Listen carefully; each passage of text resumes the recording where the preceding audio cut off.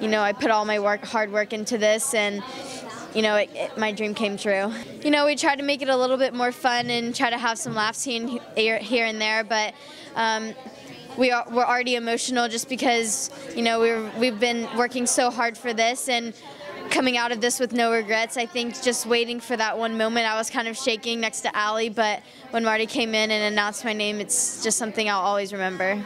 You know, I'm always nervous before any event, but I've just been training so hard this week and, you know, throughout this whole year actually, so I knew that I had put in the numbers before my training and just had to rely on that. And I was hoping to get a 16, but 15.9 is pretty close, so I'm really happy. It's crazy. I can't even believe that I'm actually an Olympian right now, so I'm just really excited to represent USA, and it's just an honor.